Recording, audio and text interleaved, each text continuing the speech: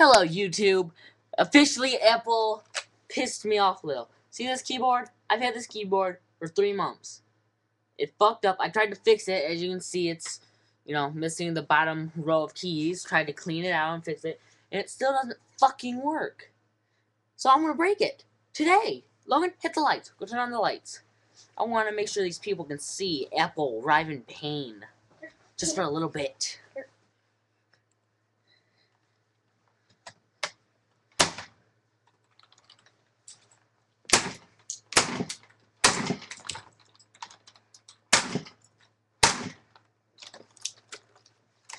Fuck Apple. Apple fucked up again.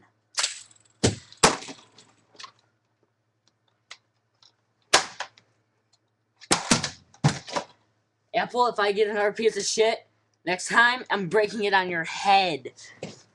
Don't give me shit. Subscribe.